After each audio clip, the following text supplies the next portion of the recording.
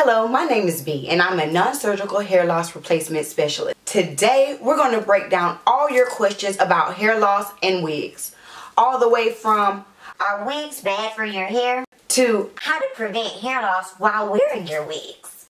So if you're ready to dive in, make sure you hit that like button and share this with someone that you know is suffering from hair loss.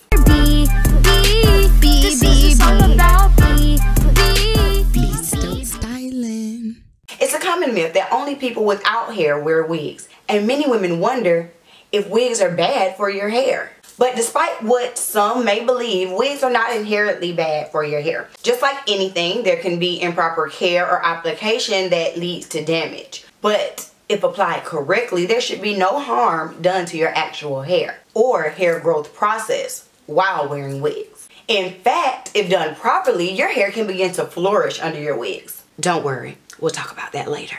I've seen discussion on the internet and TikTok that wigs are not actually a protective style and that they do more harm to your hair than good. And this is just simply not true. I, and I hate that this misinformation keeps getting spread because it's leading women from an alternative hairstyle that could actually benefit them for fear of damage to their hair. So to be clear, wigs can be a protective hairstyle and cause no damage to your hair at all, but they have to be done properly. And I can already hear someone saying, But what about lace wigs?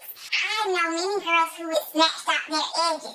And again, I say that's not all the way true. Can lace wigs damage your hairline? Absolutely. But how does that happen? I speak at length on my channel and across my social media about the dangers of lace glue. And that is what is more leading to hair loss than wigs themselves. If you're worried about wigs causing hair loss, I completely understand. Especially because the number of black women suffering from alopecia has increased dramatically over the past decade. Many times, clients are not only uneducated, but stylists are unable to educate their clients on lace glue and its dangers. So, can wigs lead to hair loss? Possibly. Some common factors from wearing wigs that could lead to some damage to your hair are improper use of adhesives, improper removal of adhesives, ill-fitted wigs, not protecting your hair up under the wigs, and not treating your hair in between styles. Remember, glue and all these adhesives are a chemical. And what we want to do, especially if we are combating hair loss, is make sure that we're not causing any excess strain or putting putting many outside factors onto an already strained area. Many times people are using these adhesives, whether it's glue or tape, without even using a patch test. A patch test ensures that you will not have an allergic reaction from whatever chemicals are used in these products. So if you do use that lace glue and you have a have a reaction to it, you could you could inadvertently cause hair loss or the exacerbation of hair loss that's already there.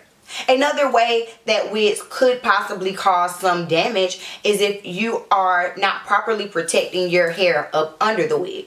And there are many ways to properly protect your hair from wearing a wig cap to making sure that your wig fits you properly because an ill-fitted wig could cause friction up against your hair and your edges and cause some breakage. So wearing wigs themselves is not the problem, but you do want to be actively preventing hair loss while you are wearing your wigs. Now, how do you do that? One of the first and easiest ways to prevent hair loss while wearing wigs is to opt for glueless units. Glueless options allow you the ease and flexibility of wearing different styles without without subjecting yourself to chemicals that could exacerbate your hair loss. And I do want to make this clear. If done properly, there is nothing wrong with gluing down your wigs. However, I do not recommend doing it yourself and I recommend going to a professional who is going to educate you on how to maintain and remove the, those adhesives. Think about it. If you are removing a wig that has been glued down, even if you are only snatching out five to ten strands of hair each time you remove it. Over time that's an excessive amount of hair. And I know y'all have seen the videos of girls just snatching wigs off that have been glued down even if it's the like Got2b Glued or the adhesive sprays that are just kind of more like hairspray versus glue you still have to make sure that when you take your wigs off you are doing so with care and with patience as to not rip out the hair that you have there. It is so difficult to make sure that you're only gluing down to skin when you aren't able to look at the area yourself. That's why I always recommend going to see a professional. A professional is able to see those little fine hairs that you might not be able to see on your own head if you're gluing them down at home. Another benefit of wearing a glueless wig is that you're able to treat your scalp throughout the week or however long you decide to wear that wig. And when we are when we are trying to combat hair loss, what you really want to do is focus on your scalp. Remember, your hair is like a plant and your scalp is the soil. You want to make sure that that soil is getting all the nutrients that it needs so that your plant can grow. And it's easier to do that when you're able to take your wigs off nightly and treat your scalp as needed. Another benefit of glueless wigs is that there are no chemical reactions. You don't have to worry about excessively using alcohol to cleanse the area. You don't have to worry about any allergens that may be in the adhesive itself. So those are some benefits to opting for a glueless unit. When you're treating your scalp, you want to make sure that you are also cleansing it regularly. I know in the natural hair community, there is this thought that you should only shampoo your hair maybe once a month. But I am not a part of that school of thought, especially when I'm dealing with my clients who are suffering from hair loss. I believe that it is important to keep your scalp cleansed if if not weekly, bi-weekly, just to make sure that you're not getting an excess amount of buildup from sebum, from products, from just any contaminants that could stop your hair from really flourishing. And it's hard to do that when you have a wig glued to your head.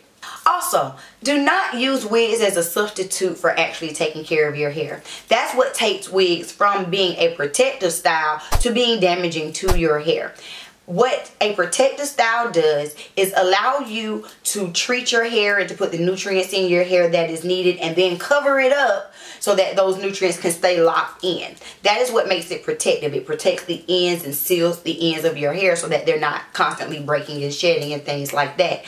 That so if you are not doing that step first, then a wig is not a protective style for you. Another way to prevent hair loss while wearing your wigs is to make sure that you do not have an ill-fitted wig. And a lot of times that happens if your wig is too small. That could cause extra rubbing and friction friction against your hair that just slowly pulls out little hairs at a time. So that is why I would suggest making sure that you get the proper measurements for your wig so you know if you need a small, medium, or large wig cap or get a custom unit. That way you know that it fits your head. Also, it is important to wear wig caps. And I'm not even gonna hold you. I'm guilty of not always wearing my wig cap under my wigs. But that wig cap is an extra layer of protection. One, it helps to seal in that moisture um, that you created in the base of your hair. As well as protect your hair from the fibers of the wig in whatever capacity. Whether you know you have a open cap wig or whatever. So those are just some of the answers to your common questions about wigs and hair loss. If you have any more questions, please feel free to drop them down in the comments and I'll make sure that I get them answered for you. If you would like to learn more about hair loss, alopecia, wigs, or how to wear them without glue, make sure you check out my Go Without Glue course. Thank you so much for tuning in. I hope you learned something from this video. If you did, don't forget to hit that like button and check out a playlist of all of my other hair loss videos. I give you a lot of information, you guys. If you enjoyed this video, make sure that you subscribe so you don't miss out on any more. And I'm going to see y'all in the next one. Peace. This is a quick snippet of my Go Without Glue course. Join this course if you are a woman suffering from alopecia so that you can learn how to choose, install, and maintain a medical wig. And for a limited time, I have a special promo code. Enter promo code INTRO to receive $50 off of this course. You do not want to miss it. Make sure you head on over to www.bsssU.com and join my course today.